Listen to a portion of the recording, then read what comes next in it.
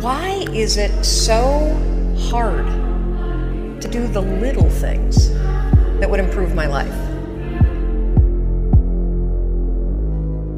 The way that our minds are designed is our minds are designed to stop you at all costs from doing anything that might hurt you. I'll never stop.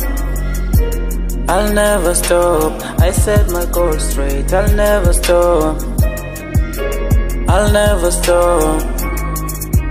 I'll never stop. I set my goal straight. I'll never stop. They may hate if they want. They may wish me bad. I'll never impersonate. I will always be me. I will always do me. I'll never stop. I'll never stop. I set my goal straight. I'll never stop. I'll never stop. I'll never stop. I set my goal straight. I'll never stop. They may hate if they want. They may wish me bad. I'll never impersonate. I will always be me. I will always do me.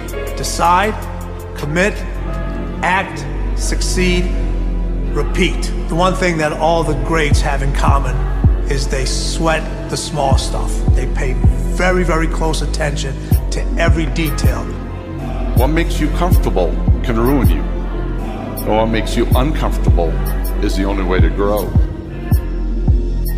If you want to be successful in anything in life, never leave the sight of setting a goal without doing something that commits you to fulfillment. Your life is what you think it should be. That's exactly what you are right now. You are what you thought you should be. And if you don't like who you are, you got to change what you think you should be. What you think is more important than what you do. And so if you want to change, you got to work on this attitude.